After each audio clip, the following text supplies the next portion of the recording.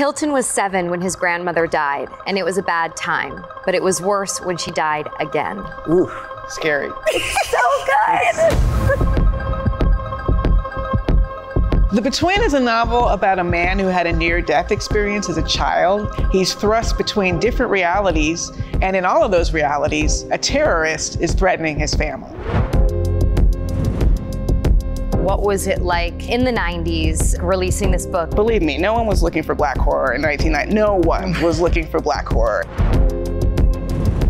How you sort of decided that horror was a genre that you wanted to write. My late mother was the first horror lover, and I grew up hearing stories of civil rights activists. You have to understand, until I wrote The Between, I was still even writing white characters.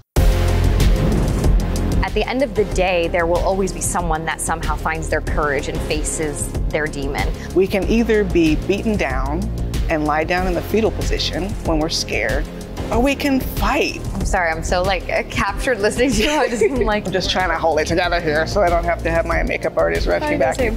Um, I'm Emma Roberts. And I'm Karah Preiss, and this is Tananarive Due's The Between on the Belletrist Book Club.